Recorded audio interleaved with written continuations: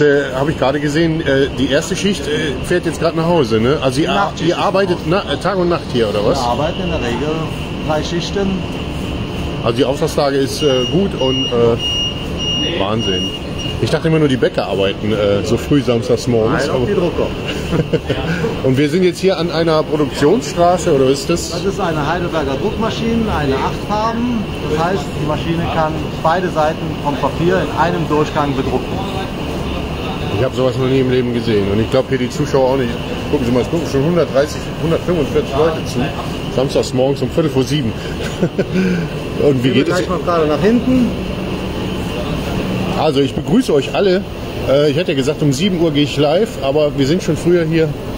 Und äh, deshalb bin ich jetzt schon live, weil ich hier nichts verpassen möchte. Und der Grund, weshalb ich hier bin, können schon einige erahnen, glaube Hier ich. zum Beispiel steht das Papier für Ihren Auftrag. Acht Paletten. Eine Palette ist in der Druckmaschine. Das heißt, ich kriege das in Buchform dann wieder in acht Paletten. Nee, noch mehr, ne? Da ist ja noch die Pappe Ja, dran. wird eher was weniger, weil da wird ja was abgeschnitten. Ah, ja okay. Beschnitt Gott, Gott sei. Dank. Ich weiß nicht, wie ich es ins Auto kriegen soll sonst. Und das wird das Auto ein bisschen füllen. Und ihr stellt jetzt hier eine ganze Palette rein? Ja, wie gesagt, wir haben jetzt Ihren Auftrag gerüstet. Die, ihre Druckplatten sind eingespannt worden. Die alten Druckplatten von dem vorherigen Auftrag sind raus. Die werden gleich rausgenommen. Und dann können wir gleich starten. Wie gesagt, hier kommt das unbedruckte Papier rein und wird dann hier mit den ersten vier Farben bedruckt. Also jede Ja. Farbe wird hier einzeln aufgetragen sozusagen. Wir sehen es gleich an den Druckplatten, schwarz, blau, heißt bei uns Cyan, rot heißt bei uns Magenta und gelb. Wie gesagt, diese vier Farben ergeben ihre farbigen Bilder, die Sie gleich sehen. Das heißt, hier unten ist die Straße, das Papier geht dann hoch in den Drucker rein, wieder runter und geht Nein, weiter oder wie? Unten sind das so Zylinder, wo das unten herläuft, Also unten wird gedruckt in dem im unteren Bereich. Hier unten läuft das Papier her. Dann hier in im großen Zwischenstück, da wird das Papier gewendet, Ah, okay, und dann geht es hier weiter auf die dann andere wird die Seite. andere Seite bedruckt. Wie krass ist das denn? Also hier sind dann wieder die gleichen Farben natürlich, Die ne? andere Seite, ja. Hier und dann da wird es getrocknet oder Nein, das ist äh, nur eine Auffahrt. Dann müssen wir hier wieder was höher kommen. Da hat einen großen Stapel fahren können. aber wie schnell ist denn die Farbe trocken? Für jetzt zum Drucken ist sie ziemlich schnell trocken, aber richtig durchgetrocknet ist sie erst circa nach 24 Stunden. Und äh, wie, wie, wie, wie viel Blatt schafft ihr denn hier pro Sekunde zu drucken? Wir können 18.000 Poren in der Stunde drucken. 18.000 Blätter. Bogen. Also ein, Was ein heißt das Bogen? Bogen, sorry. Ja, wie gesagt, dann kommt das gedruckte Papier hier raus. Der Drucker, wie gesagt, äh, kontrolliert und steuert dann alles, dass Moin. alles richtig auf dem Papier ist. Also ich darf filmen, ich hatte vorher gefragt, ne? Jetzt hat er hier seinen Leitstand mit zigtausend Möglichkeiten, um irgendwas einzustellen. Was ist denn das Wichtigste, was hier eingestellt werden muss? Nehmen wir erstmal die Farbe, damit es schön aussieht, oder? Also das heißt, ihr macht jetzt erstmal einen Probedruck oder was und Ja, guckt, ob alles in Ordnung ist? Und ihr nehmt das dann sozusagen ab, nicht der Kunde, äh, sondern ihr sagt, so ist jetzt super. Weil vorher schon. entscheidet der Drucker, wann es gut Bohren sind. Dann kommt hier ein Zettel rein. Was da drunter ist, ist Makulatur, nennt das, äh, heißt das bei uns. Wird weggeschmissen. Und dann darüber sind halt die Gutbogen, die dann auch ständig während des Vordrucks kontrolliert und begutachtet werden und notfalls eingegriffen wird. Sei es mit Passerstellen oder Farbestellen. Aber ansonsten in der Regel macht die Maschine das alles ziemlich selber. Krass. Was Sie jetzt da zum Beispiel sehen, das ist die Farbregelung. Wie gesagt, wir haben jetzt hier gleich so einen Farbmessstreifen. Da wird die Farbe während des Druckens ständig abgelesen und mit hinterlegten Sollwerten verglichen.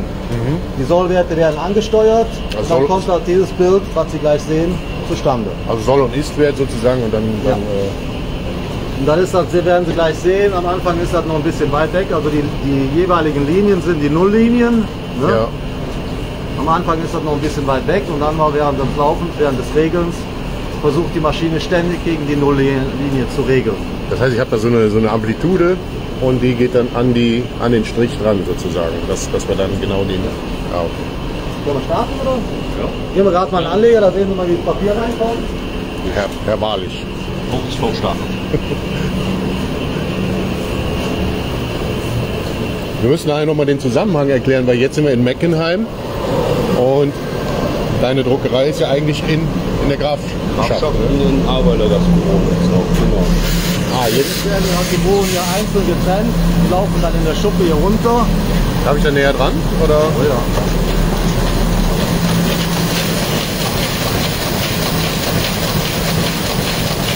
Da ist natürlich nachher und je nach Papier muss man da ein bisschen einstellen, damit es halt läuft. Papier hier vorne ausgerichtet und dann wieder vereinzelt. So läuft einzeln dann jetzt durch die Maschine. Was ist das ist zum denn? Beispiel eine Geschwindigkeit von 13.000, 13.500. Und wie viele Mechaniker sind jetzt hier? Das ist doch was, was das läuft dann nicht störungsfrei sowas, oder? Hier sind die Mechaniker. Zu zweit seid ihr dann hier, oder was? Gesagt, wenn das ganz hoch ist, was wir nicht können, dann müssen natürlich die Experten dran von Heidelberger Druckmaschinen. Ja. Also kleine, Sachen machen wir selber. Unfassbar, ich habe sowas noch nie gesehen. Also man fragt ja immer, wie schaffen die Tageszeitungen so schnell zu drucken? Aber jetzt wissen wir, warum das so geht. Also man flitzt hier hin und her und hier kommt schon was an, oder? Und da sehen wir jetzt zum Beispiel, wie die Farbe steht. Wo halt nach unten Ausschlag ist, ist noch zu wenig Farbe. Wo es drüber ist, ist noch zu viel Farbe drauf. oh. Das regelt sich Art. das ist der Anfang, das ist Seite 1. Und jetzt ist der Drucker halt Probebogen, um zu kontrollieren. Da unten ist jetzt ein Probebogen, um den halt zu begutachten.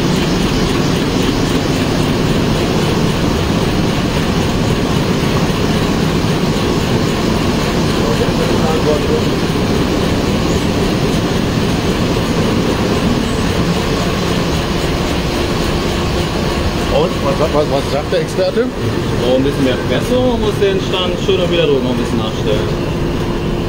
Aber das ist noch ein bisschen wolkig. Sieht man gerade hier so ganz schön. Dass es eigentlich glatter sein Das ist soll. ne? Aha, also das ist wolkig. Kannst, du, kannst du überhaupt eine normale Zeitung lesen oder bist du nur immer am gucken, wie es gedruckt ist? Ey, das bringt das so mit sich. Man guckt dann schon irgendwie. Wenn, wenn Fehler auftauchen, sieht man die sehr, sehr, sehr schnell. Vor allem gerade Passer oder sowas man sehr schnell. Also hier gucken gerade fast 400 Leute zu, total krass, morgens um 10 vor 7. Ja.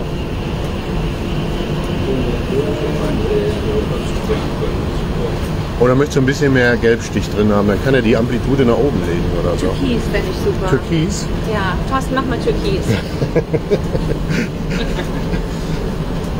Machen fast alles, aber nur fast. Aber hier ist ganz schön warm. Ne? Also kurze Hose ist hier auch im Winter ähm, normal oder? Ja, ist allein dadurch, dass die Maschine so. Also die strahlt schon gut Hitze ab. Das ist durch die Wärme, durch die Geschwindigkeit, die ganzen Kompressoren, die drin sind, ist, ist schon gut Wärme hier. Also die gibt sehr, sehr viel Wärme ab. Erzeugen die selber Wärme oder, oder ähm, habt ihr auch irgendwie ein Energieproblem jetzt gerade im Moment? Ähm, hier, die, die Maschine erzeugt die Wärme eigentlich selber. Das Okay. durch, durch die ganzen Kompressoren, weil es wird an in der Wendung sind Kompressoren drin, die den Bogen wieder halten, damit er gewendet werden kann. Am Anleger sind Kompressoren, hier an der Seite sind Kompressoren. Die Maschine dreht sich durch die ganze Reibung, jetzt entsteht überall. Ja. Also die ist schon sehr, sehr, sehr kuschelig warm. Also sehr beeindruckend. Und das ist jetzt noch nicht das Originalpapier, ne? Genau, das ist noch Vorlaufpapier. Ich habe jetzt erstmal nur gestoppt, weil ist noch ein bisschen mehr Pressung drauf. Sehr wolkig. Ja, ja. Ja, ja, also man sieht das hier. Hier ist äh, wolkig, da auch. Auch, alles wolkig. Nee, also so wollen wir es nicht haben. Ne?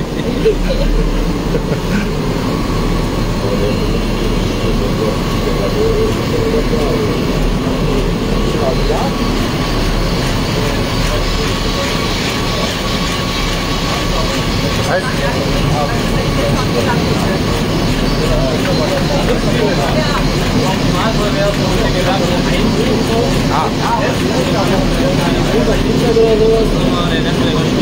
hier ist eine ganz wichtige Frage. Kannst du auch Geld drucken? Können schon, dürfen nein, aber dafür bräuchte ich das Papier, da fängt schon an. Also die Möglichkeit besteht. Wir hatten das Thema meiner Ausbildung, dann meinte unser Dozent, ja, es wäre möglich, Aber wir wären so viele Leute, irgendwer wird sich verquatschen und dann wird es aufhören.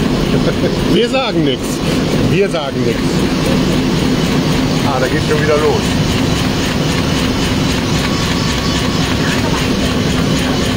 Ich habe jetzt mehr drauf. Das heißt, äh, das Gummituch und der sind näher zusammengefahren. Das heißt, hier wird mehr gepresst, dadurch müsste es glatter werden. Kann aber auch wieder an dem Papier liegen, dass es noch ein anderes Papier hat.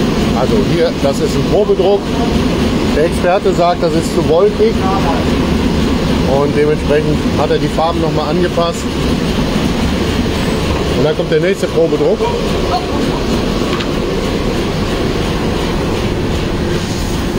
ist das auf jeden Fall besser. Wir, wir brauchen den direkten Vergleich.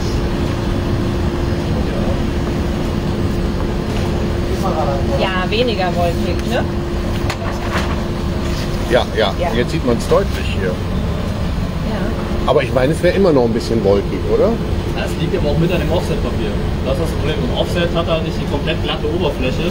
Ja. Und matt gestrichenes oder sowas hat auf jeden Fall eine glatte Oberfläche. Das ist jetzt auch noch das Probepapier, oder? Sehe, das ist doch. Das ist jetzt das. Das ist Originalpapier. Das, das, Das das ist halt scharf. Offset-Papier. in den Händen hatte. Bitte? Das, was ihr am Anfang in den Händen hattet.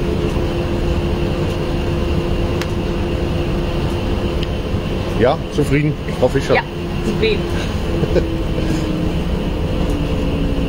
Das ist echt ein besonderer Moment, oder? Auf jeden Fall. Also, wenn man das dann mal äh, sieht, wie das zum Leben kommt auf einmal, ne? Habt ihr, habt ihr immer Publikumsverkehr? Ist das normal, dass jemand äh, hier hinkommt, wenn das äh, Buch gedruckt wird oder so? Oder ist das jetzt Ausnahme? Mittlerweile werden es weniger, habe ich so das Gefühl. Aber grundlegend ist das schon öfters so. Weil, Ja. weil die Kunden schon sehen wollen, passt das vom Bild her so, sieht so aus, wie sie es sich vorgestellt haben. Das gibt es öfters. Besonders bei Künstlern die gerade so irgendwie Bilder nachdrucken, die wir, sie ne? quasi Ja. an der Wand hängen haben oder so. Entsprechende Bücher machen. Ja. Die kommen dann öfters mal, um auch wirklich zu gucken, ist es auf dem Papier auch so, wie sie sich das vorstellen. Weil sonst ist es viel Geld, was man dann für ein Produkt ausgibt, wo man nachher nicht ganz zufrieden ist. Das wäre dann ärgerlich. Also für dich ist das jetzt nur ein Produkt sozusagen. Du weißt gar nicht, worum es da geht bei der ganzen Sache. Oder weißt du das jetzt schon? Doch, grundlegend weiß ich es ja, weil erstens steht es auf meiner Auftragstasche drauf, zweitens sehe ich ja, was ich habe, aber bei vielen Dingen ist es in erster Linie erstmal ein Produkt. Ich versuche erstmal das Produkt natürlich so schön wie möglich zu drucken und dann ist es mir egal, ob das zeigt mal ein Thema ist, was mich interessiert oder was mich weniger interessiert. Grundlegend geht es darum, dass es ein gutes, schönes Endprodukt ist. Ist dir denn schon mal passiert, dass du dir so einen Probedruck mit nach Hause genommen hast und gelesen hast? Gelesen habe ich auch jetzt halt dafür. Ja? Bist schon Muss, durch? nein, le lesen nicht, aber du guckst halt ja hier Bist schon. schon durch? Na klar, das ganze Buch habe ich eigentlich Ja, schon durch. Ja. fantastisch. Und was meinst du? ja, eine schlimme Sache. Ne? Eine Ja, ja. Rezension von dir? Ja. Soll ich jetzt sagen, dass ich schon Fehler gefunden habe? Oder soll ich Oh. Ich mag gar nicht drauf gucken. Böses ich hab, Thema. Ich habe so Angst, dass ich noch Fehler finde. Ja, Wahnsinn. Ja, guck mal auf den Flugbuch. Das sind wir. Wo? Das Flugbuch. Da, da muss man ja immer aufpassen, dass nichts draufsteht, was man nicht filmen darf. Deine Kontonummer? Ist egal, die steht auf dem Geschäftsbogen. Der wird ja jetzt hier auch gebucht, damit das in der Nachkalkulation, Zeiterfassung, Arbeitszeiterfassung, das läuft jetzt alles unter dieser einen Auftragsnummer. Also ist immer alles nachvollziehbar, wer was wann, wieso, weshalb, warum gemacht hat.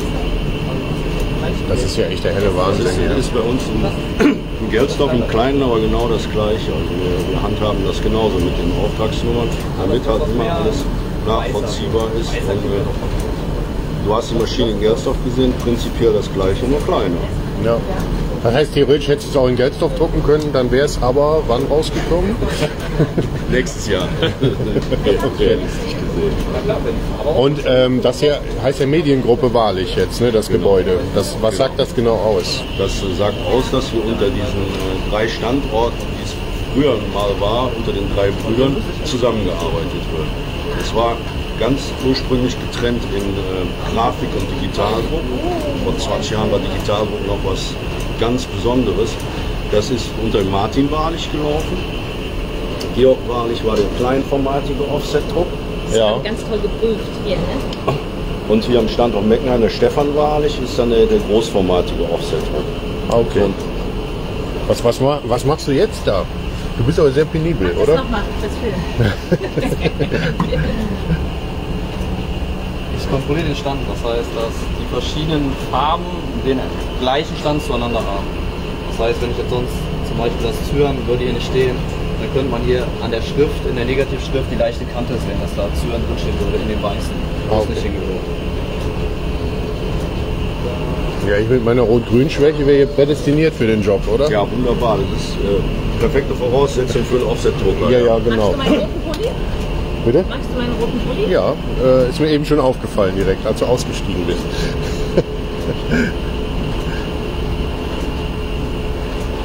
es wird immer da, das dort produziert, wo es am sinnvollsten ist. Also wir würden jetzt kein Buch in der Auflage, in der Seitenzahl drucken und hier würde keine, keine Ahnung, 200 Visitenkarten für Malermeister Müller gedruckt. Ne? Aber trotzdem läuft alles über dich. Ne? Also wer jetzt hier äh, ge- irgendwas gedruckt haben möchte, ich habe auch gesehen, ähm, ein Händler, mit dem ich viel zu tun habe, der hatte bei dir eine Karte stehen, die ist jetzt gedruckt worden für ein Produkt, was mich sehr interessiert. Mehr sage ich jetzt nicht. Aber man meldet sich bei Druckerei Wahrlich in der Grafschaft und ihr macht Visitenkarten, Buch, egal was. Genau, Tassen, so das, Kappen. äh, die veredelten Sachen in erster Linie. Mit Eisfolie, schön Relieflacken. Oh, oh, oh, oh. Hier ist äh, gerade, ähm, Da auch jetzt wie heißt es nochmal, äh, Polterabend ist hier gerade. Naja, das, sieht man auch, das ist immer noch ein Handwerk, wie zu Gutenbergs Zeiten. Ähm, schneller, präziser, gar keine Frage, aber prinzipiell funktioniert es noch genauso. Das äh, ist wie der Ottomotor beim Auto. Kennt man ja vom heimischen Drucker, ne? Papierstau. Oh, das kenne ich von McDonalds. Jetzt ist irgendwas fertig. Fritten oder? Ach, Achtung, Finger raus, die Maschine läuft. Also mega interessant für mich. Komplettes Neuland hier. Die, die, die Maschine läuft unter Vollgas mit 18.000 Bogen in der Stunde. Das ist also te- technisch Wahnsinn. Der Bogen muss ja hier auch gebremst werden wieder. Das ist für mich immer, immer wieder unbegreiflich, wie das funktioniert. Aber du hast gesagt, Montag ist das Buch gedruckt, sozusagen. Die Bogen sind dann gedruckt und gehen dann zum Buchbinder, ganz genau. Und wo ist der Buchbinder? Wir sind sehr zufrieden und sehr beeindruckt, muss ich sagen, wirklich. Ja, das ist jetzt zum Beispiel aus den Bohren gibt das nachher diesen Salzbohren. Und hier diese Reihenfolge entsteht. Und das macht ihr hier auch dann gleich Nein, das macht der Buchbinder. Ah, okay. Wie gesagt, die verschiedenen Bohren gehen dann hier unten. Ich weiß gar nicht, wo ich hier überall filmen soll. Negativschrift über die schwarze Kante. So ein leichtes schwarzes Raster drin. Das ist jetzt besser. Was meinst du? Das ist. Mensch, ich sehe da eh nichts. Was meinst du mit Negativschrift? Negativschrift ist diese, quasi diese weiße Schrift, die sich halt hier Ja. rausstellt. Das ist für mich diese Negativschrift. Und in der Negativschrift konnte ich jetzt hier so eine leichte schwarze Kante sehen. Das heißt für mich, dass das schwarze Ticken zu hoch stand. Das habe ich jetzt runtergestellt. Allein dadurch verändert sich für mich auch schon die Farbe. Weil wenn man hier genau hinschaut, sieht man hier einen kleinen Farbunterschied zwischen den beiden Farben. Das ist nur, weil die Rasterpunkte im anderen Winkel zueinander stehen. Das ist die gleiche Farbe. Das ist wirklich die gleiche Farbe. Nur weil ich den Fass ein bisschen nachgestellt habe, verändert sich der Ton ein bisschen optisch. Da kannst du doch stundenlang mal einstellen und gucken, wie die letzte Farbe ist, Ja. oder? Ja, ich bin auch irgendwann gezwungen an der Negativschrift, das muss passen. Ja, ja. Dann bin ich bei der Farbe bin ich dann raus. Erstmal Standardwert, den wir anfangen, den ich jetzt auch habe. Der Rest ist dann nur noch mehr oder weniger frei. Also das ist nicht nur mit Wasserstellen, sondern Ich muss, ich muss gleich mal so, reingrätschen, oder? weil wenn ihr das Buch irgendwann haben wollt, dann müssen wir jetzt wirklich mal anfangen. Okay. Wir lassen dich jetzt mal in Ruhe. so würde ich die Farbe nehmen, ja. Wunderbar. Passe ist, Farbe ist.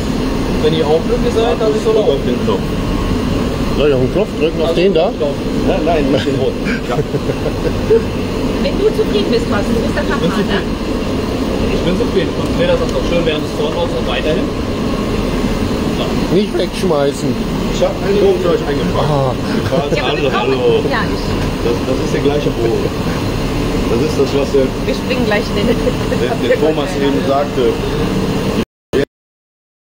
Dann werden die nicht geschnitten, wie du eben sagtest, werden die auch hier geschnitten, sondern gefalzt. Und dann liegen die schon Bogen für Bogen in der richtigen Reihenfolge. Ah, okay. Das sind dann Bogen, die beim Buchbinder weiter übereinander gelegt werden und dann tatsächlich vernäht werden, damit das Buch ja, eine lange Haltbarkeit hat. Ah, da sind wir wieder. Ja, tut mir leid. Ich weiß nicht, warum der Empfang abgebrochen ist.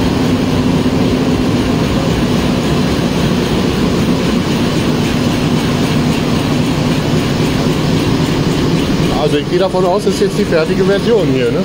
Absolut. Also, da ist euer Buch.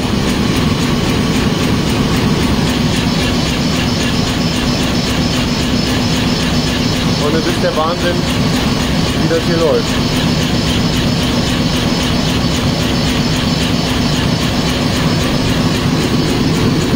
Hast du eigentlich die Rezension schon gelesen in der Rheinzeitung oder hast du noch nichts mitbekommen? Tatsächlich noch nicht.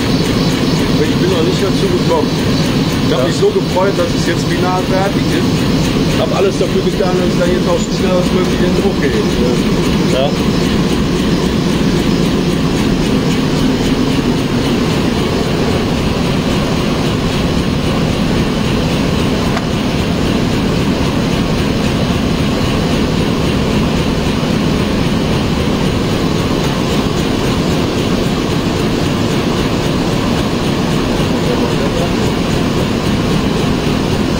Jetzt wird es entspannter, ja. Jetzt ist es entspannter. Ja, aber jetzt ist immer der Anfang. Es wird dann immer erstmal in Farbe kommen, es soll in Farbe sein. Ich darf jetzt anfangen zu schmieren, es darf irgendwo irgendwas versehen sein oder sowas. Die Maschine muss laufen, gerade die erste Bogen ist noch ein bisschen sexy. Genau das.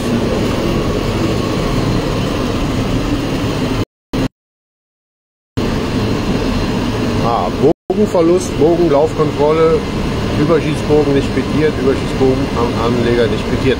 Da ist die Fehleranzeige anscheinend und direkt die Lösung, denke ich. Also es ist für mich schwer beeindruckend. Ich, hier ist äh, tatsächlich ein Empfangsproblem. Ich hoffe, ihr könnt noch mitschauen. Vielleicht kann man einen Daumen hoch machen oder so. Ah, ihr seid dabei wieder. Also hier ist jetzt ein Problem. Hier wird die Maschine aufgemacht.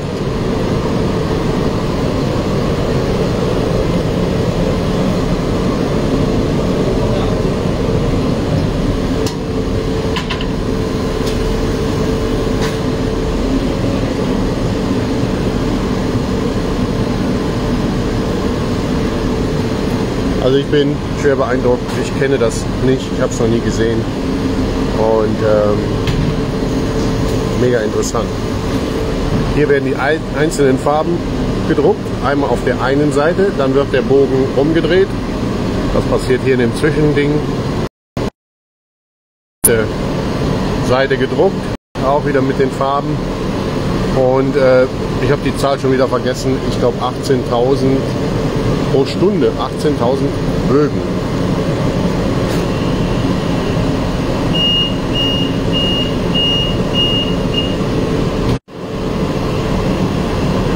Also hier scheint jetzt ein Bogen sich verklemmt zu haben. Ihr kennt das vom Drucker zu Hause.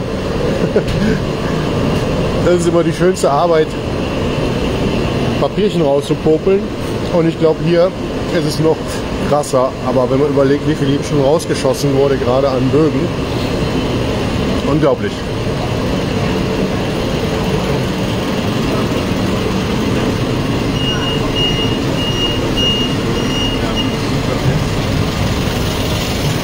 Aha, da ist ein Muster.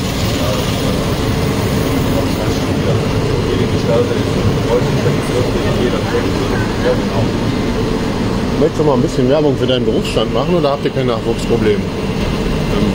Nein, es ist, äh, wir suchen natürlich immer Auszubildende im, im Bereich Offsetdruck, vor Dingen Buchbinder sind rar gesät. Da gibt es tatsächlich ein Nachwuchsproblem. Buchbinder heißt jetzt äh, Papier schneiden, falzen, ja das ist es mal pro Heften. Da gibt es tatsächlich ein Nachwuchsproblem. Auch äh, ausbildungsmäßig sind wir eigentlich, denke denk ich, ganz gut aufgestellt. Aber dadurch, dass die Betriebe immer größer werden, werden die einzelnen Betriebe immer weniger. Also es gibt die Handwerksbetriebe, die kleinen Druckereien, die ein-, zwei-Mann-Betriebe, die den Großteil der Ausbildung gestemmt haben, die sterben weg. Da- Dadurch existiert dann auch ein Nachwuchsproblem. Ist Also ist eher ein Problem zu wenig Ausbildungsbetriebe für die, für die Auszubildenden. ganz genau. Also du hast genug ähm, Auszubildende oder was? Also keine Werbung sozusagen. Naja, will ich so nicht sagen. Also wir hätten jetzt in, in Gelsdorf leider jetzt überhaupt keinen Platz mehr. Dadurch, dass der äh, Grafikbetrieb in Arbeiter ja im äh, Hochwasser einmal durchgeputzt wurde, fehlen halt ein paar Schreibtische. Wir, wir können im Moment aus Platzgründen gar keinen ausbilden. Ja. Wir haben uns ja extra euch ausgesucht als Zockerei, weil ihr betroffen seid oder wart oder immer noch seid. Wann seid ihr denn wieder so weit in Arbeiter, dass da steht immer noch in den Sternen, ob wir es überhaupt wieder machen. Ich will nicht sagen, die Stadt stirbt aus, aber die ganze Kundschaft, die dort äh, auch reingekommen ist, war ja selber betroffen oder ist immer noch selber betroffen. Und dadurch hatten die, es war nie eine Frage, die sind nach Jetzthof gekommen. Es war nie eine Frage, ob sie das woanders hingehen. Die gibt es nicht. Und die sind jetzt auch großer Teil mit ihrem Betrieb auf die Grafschaft gezogen. Natürlich aus der Not geboren, aber mittlerweile sagen viele, ja mal, so schlecht ist das auch nicht. Ne? Ja. Wie siehst du die Gesamtsituation jetzt für Gewerbetreibende im Ahrtal? Sehr, sehr schwierig. Da, gerade dadurch, dass es Gastronomie geprägt ist. Äh, ich kenne die Zahlen natürlich nicht, ich bin Booker, kein, kein Hotelbetreiber, aber ich stelle es mir sehr, sehr schwer vor. Nachvollziehbar, dass ja jetzt nicht die Touristenmasse kommt wie vorher. Ähm, eine Woche Urlaub in Arbeiter möchtest du gerade auch nicht machen, auch wenn es schon relativ gut aussieht im Verhältnis zu dem Jahr. Ne? Ja. ja, es tut sich was. Ne? Immer mehr Geschäfte mal wieder auf. Tut sich was und gerade Arbeiter, finde ich, äh, kann sich schon wieder sehen lassen. Ja, kommt, Leute, kommt. Genau. Jetzt das äh, Bad Wandern für den Wiederaufbau, man, man sieht es jetzt am Wochenende ist es wieder, da sind Massen weggekommen, Gott sei Dank. Was, was ist da genau? Weil hier sind ja viele, die wissen nicht, was am Wochenende machen sollen. Ich sage mal so, ab, der, ab Dernau, die, die Wein- und Winzerbetriebe im Adler, die unten nichts mehr verkaufen können, sind den ganzen Oktober oben in den Weinbergen am Rotwein-Wanderweg und verkaufen da ihre Sachen. Bewirten mit, Wein, kleinen Speisen. Da kann man quasi von Stand zu Stand wandern. Eine, eine tolle Sache. Wir haben jetzt hier die türkise Version. Ah, das ist doch bunt, oder nicht?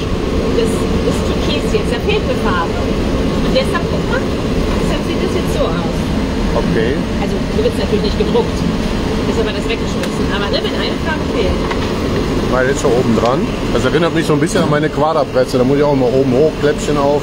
Guter Vergleich, ja. Auch eine Presse.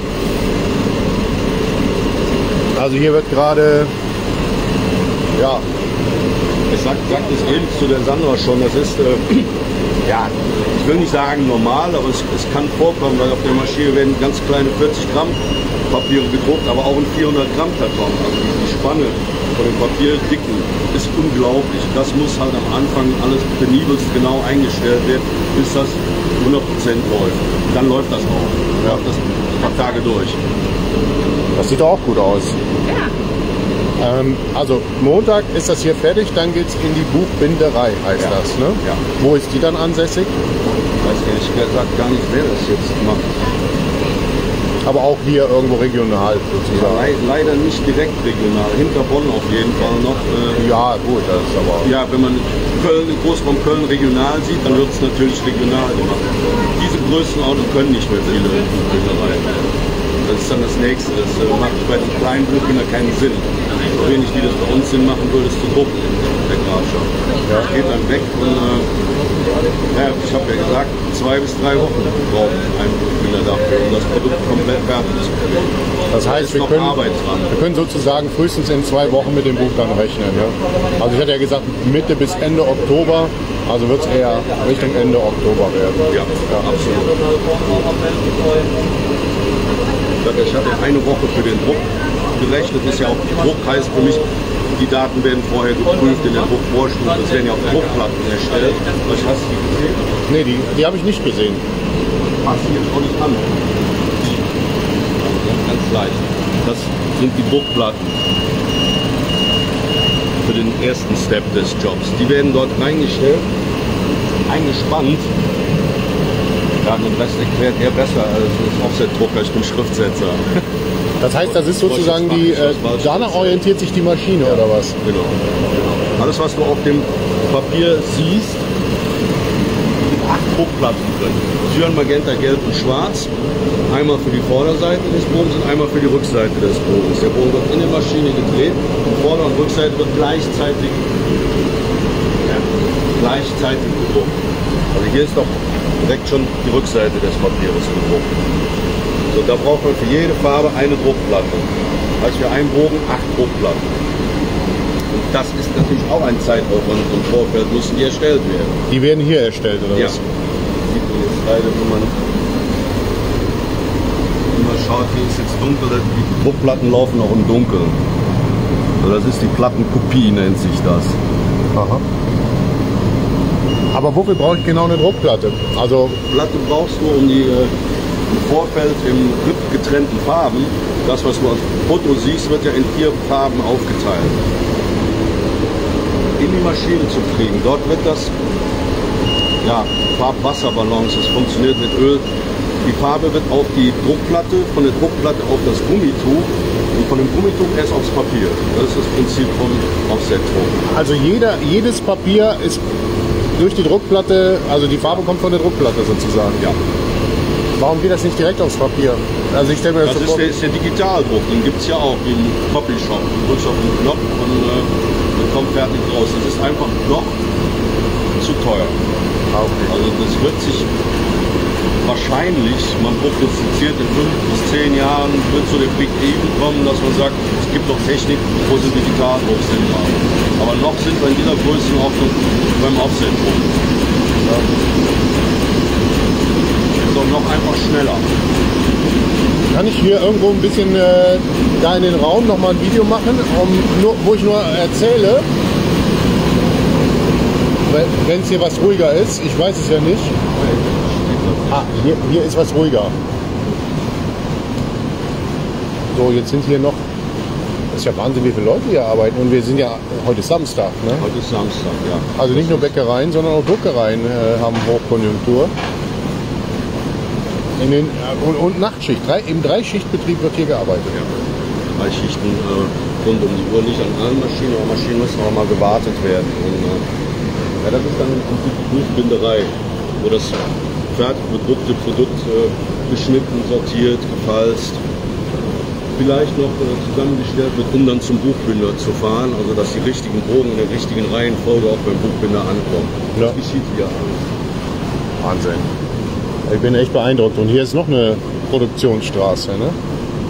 Das ist das gleiche wieder wie hier nebenan. der. Ganze das ist eine, eine, Vierfarben mit einem Lackwerk.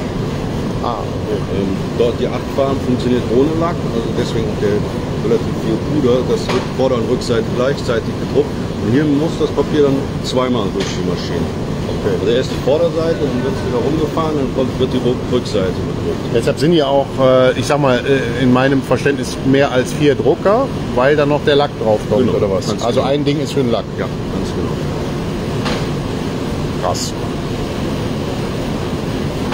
Ich muss mal auf mich halten, ich muss das mal erklären, warum ich heute auch hier bin. Und ich wollte eigentlich um 7 Uhr ein Statement noch abgeben zum Rezension. So, nicht erschrecken, das bin ich. Ich habe ein bisschen Schlaf in den Augen. Also für mich ist das Buchprojekt ähm, tatsächlich wieder ein Riesenabenteuer, wo ich ja überhaupt gar keine Ahnung von habe. Um es mal auf den Punkt zu bringen, ähm, jetzt bin ich ja umgeben von Fachleuten. Einmal die Sandra Fischer, ähm, die ja freie Journalistin ist, die das Buch als Autorin geschrieben hat. Sandra Fischer schreibt und Markus Wipperfitt erzählt, steht ja auch in dem Buch drin. Ähm, dann habe ich ja den Andreas Knieps kennengelernt ähm, von der Druckerei Wahrlich in der Grafschaft. Auch ganz viel mitbekommen schon, wie das da läuft. Und äh, jetzt sind wir ja hier in der Druckerei in Meckenheim. Das ist die Wahrlich Mediengruppe.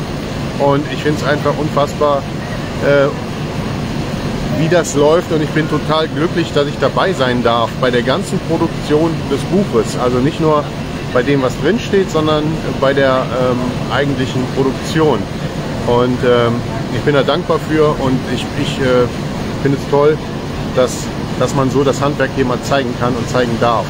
Und ich wusste nicht, dass die Tag und Nacht arbeiten. Ich wusste nicht, dass es solche Straßen hier gibt, wo das gedruckt wird. Ich habe mich immer gefragt, wie wird eigentlich eine Zeitung gedruckt, wenn abends noch äh, ein Fußballspiel ist und du kannst schon mitten in der Nacht die Zeitung kaufen, wo dann äh, das Ergebnis drin steht. Das ist für mich unfassbar. Ähm, ich denke, das sind noch ganz andere Druckanlagen wahrscheinlich, aber ähm, für mich ergibt das so langsam ein, ein Bild. Jetzt hatte ich ja angekündigt, für 7 Uhr würde ich mich mal zur Rezension äußern von der Rheinzeitung. Ähm, das würde ich jetzt mal kurz machen. Also ich finde die Rezension sehr gut. Ähm, man muss als... Oh ne, kein Kaffee, ich habe schon drei Tassen. Also hier wird mir gerade Kaffee angeboten. Man muss ja auch mal sehen, dass ich mit dem Herrn Hennemann einen ziemlichen Disput hatte, nachdem ähm, so ein komischer Artikel von T-Online übernommen wurde und rausgebracht wurde, obwohl ich eine Woche später mit dem Herrn Hennemann und Herrn Eberts einen Termin hatte. Und ähm, wo man exklusiv, das wurde vorher vereinbart, dass ich mich nicht vorher mit irgendwem anders zusammensetze, weil da auch meine Zahlen auf den Tisch gekommen wären, ähm, exklusiv einen Termin hatte. Und dann bringt man eine Woche vorher, da waren wir gerade auf dem Weg äh, in unseren Urlaub, fünf Tage mal Urlaub machen nach dem ganzen Stress, kommt dann von der Rheinzeitung der Artikel raus. Dann habe ich mit dem Herrn Hennemann telefoniert. Es war, glaube ich, sogar ein Sonntag. Und ähm, es war ein sehr unfreundliches Telefonat von meiner Seite aus, äh, das sei gesagt. Und ähm, natürlich hat Herr Hennemann reagiert. Dann haben wir uns, glaube ich, noch äh, bei Facebook irgendwo mal gezofft ähm, das ist so der Werdegang und dann haben wir keinen Kontakt mehr gehabt. Ähm, jetzt sind wir wieder an dem Punkt, wo wir uns zusammengesetzt haben, wo ich auch meine Rechnungen dargelegt habe, um mal zu zeigen, wie wenig ich hier wirklich im Ahrtal verdient habe, was ja bestätigt wurde von der Kreisverwaltung. Das ist ja in dem Artikel mit drin. Ähm, und den Artikel finde ich wirklich zu drei Viertel sehr gut. es wird ja auch gesagt, es ist ein zeitgeschichtliches Dokument, was hier gerade gedruckt wird. Ähm, eine Begeisterung von den QR-Codes, von der Gefühlswaschmaschine auch, die, äh, wo man reingezogen wird. Also das Buch wird sehr gut rezensiert, ist mein Empfinden, mein persönliches Empfinden. Und äh, ein Viertel ähm, geht dann natürlich wieder so ein bisschen in die Richtung, ähm, ja, dass äh, der Herr Wipperfürt ja auch dann sich zurückgenommen hat und ähm, dass er schlau genug dazu wäre und äh, dass ich ja auch ähm, den, äh, dem äh, Medien äh, die Arbeitslosigkeit, den Printmedien die Arbeitslosigkeit ähm, gewünscht hätte. Also da kommen so ein paar kleine Seitenhiebe. Das ist völlig in Ordnung. Ansonsten ähm, würde man ja auch so ein bisschen sein Gesicht verlieren. Von daher finde ich das völlig in Ordnung geschrieben.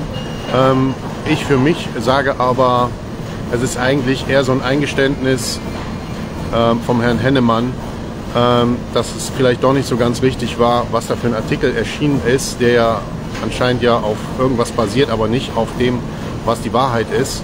Ähm, und deshalb sind ja auch die Zahlen da veröffentlicht worden bei der Rheinzeitung, wo sich jeder errechnen kann, dass der Wipperfürth nicht eine Million abgezockt hat, auch nicht mehrere Millionen, was ja ähm, gerne gesagt wird, sondern es war ähm, eine totale ähm, Misswirtschaft aus betriebswirtschaftlicher Sicht, weil ich immer gesagt habe, wenn rechne ich nur meine Kosten ab und die habe ich ja nur anteilmäßig abgerechnet. Das heißt, ich habe viel Geld im Ahrtal gelassen. Das steht auch im Buch, ist aufgeschlüsselt. Und ähm, ich habe sogar mit meinem Lohnbetrieb in der Zeit Minus gemacht. Also ich finde den Rheinzeitungsartikel sehr gut. Er klärt auf. Er zeigt, dass der Herr Wipper führt, auch dann ein bisschen kritisch gesehen wird. Zeigt aber auch, dass die Rheinzeitung oder der Herr Hennemann so ein bisschen das revidiert, was über mich geschrieben wurde in einem Schnellschussverfahren. Mich hat das damals richtig geärgert. Das war, glaube ich, im Januar oder so, weil wir definitiv einen Termin hatten. Äh, der wäre sieben Tage danach gewesen. Ich wäre aus dem Urlaub zurückgekommen und ich glaube, an dem Dienstag hätten wir uns dann zusammengesetzt, äh, der Herr Hennemann und der Herr Eberts und ich. Die Zahlen wären auf den Tisch gekommen und was macht man? Man bringt so einen Artikel raus, ähm, der gespickt ist mit Unwahrheiten. Ja, mit Unwahrheiten. Und warum man das gemacht hat, das weiß ich. Das passt auch im Moment absolut zu dem Thema Verschleierung, äh, nicht die Wahrheit sagen, hinterm Berg halten und am Sessel kleben. Das passt ganz genau da rein. Deshalb ist das Buch, was jetzt hier rauskommt, ähm, meiner Meinung nach auch zufälligerweise genau zum richtigen Zeitpunkt. Und ähm, das, weil es in die gleiche Kerbe schlägt. Wir haben ja den Bereich vor der Katastrophe, während der Katastrophe, nach der Katastrophe. Mein Buch ist natürlich eher für den Bereich nach der Katastrophe, wobei es auch das behandelt, was vor der Katastrophe war. Auch ein Christian Lohmeier kommt da zu Wort, der klipp und klar gesagt hat, am 11. räumt die Campingplätze. Also das ganze Versagen, was hier in der Katastrophenbewältigung passiert ist, wird bei mir auch in dem Buch natürlich ähm, aufgenommen. Und es ist nicht das letzte Buch, habe ich ja gesagt, weil diese ganzen Hintergrundsachen, ähm, die kommen dann in einem anderen Buch. Und ich habe auch gesagt, dazu laufen ja auch mehrere Verfahren. Äh, nicht gegen mich. Ich habe nicht eine Anzeige bekommen, nicht eine Unterlassungsklage oder sonst was, gar nichts. Nein, gegen andere. Und ähm, wenn das alles durch ist, dann kann erst das andere Buch kommen, weil dann wird genau erklärt, was im Ahrtal gelaufen ist, wieso es so im Ahrtal gelaufen ist, was man probiert hat mit diesen Diffamierungsversuchen und ähm, was da noch hintersteckt. Und es ist richtig übel, was dahinter steckt, kann ich euch jetzt schon sagen. Es ist ganz viel rausgekommen, aber da werde ich mich im Detail nicht so äußern. Erst in dem Buch werde ich mich dazu äußern. Das wäre jetzt der falsche Zeitpunkt. So, das äh, mein Statement zu, dem, ähm, zu der Rezension. Und ich habe mit der Rheinzeitung nochmal zusammengesessen. Also das, so viel darf ich sagen. Über den Inhalt darf ich nichts sagen. Und es ist einiges klar geworden dadurch. Und da muss ich auch sagen, da gehört auch eine gewisse Größe zu, dass der Herr Hennemann sich mit mir zusammengesetzt hat und wir waren nicht allein, es waren noch mehrere dabei. Äh, da, dazu gehört Größe. Vielen Dank, Herr Hennemann, dafür. Ähm, ja, ich habe ein bisschen auch gelernt aus der ganzen Geschichte, natürlich. Aber wenn man emotional ähm, ist und da kommt auch noch mal was zu, das, was ich erlebt habe in der Zeit und dann mit Unwahrheiten angegriffen werde, dann reagiert man vielleicht schon mal falsch. Passiert schon mal. Okay, in dem Sinne, macht's gut. Das war jetzt mein Statement dazu. Und ähm, vielleicht gehe ich gleich nochmal live. Hier gibt es nämlich, glaube ich, Probleme mit der Straße. Da ist schon wieder die Farbe, hoffentlich erkenne ich die richtig, gelb, glaube ich, die Probleme bereitet. Und ähm, ja, vielleicht gehe ich nochmal live. Hier ist es tierisch heiß. Ich muss mal meine Jacke ausziehen. Und ähm, vielen Dank, dass ich hier sein darf. Und vielen Dank, dass ihr morgens um halb acht haben wir jetzt zuschaut.